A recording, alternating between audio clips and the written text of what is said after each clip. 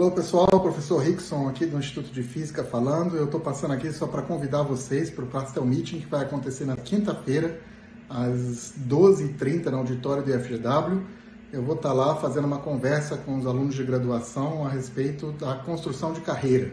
Muita gente acredita que, enfim, rendimento acadêmico, CR é tudo para construir uma carreira, particularmente na física, e a história não é bem assim. Então a gente vai estar tá lá para discutir um pouquinho, eu vou contar para vocês é, algumas observações que eu percebi no processo de seleção que eu tive que fazer junto a uma empresa privada, é, específica para os alunos da física. Né? Então, convido todo mundo, espero vocês lá, quinta-feira, meio-dia e meio, no Auditório da Física.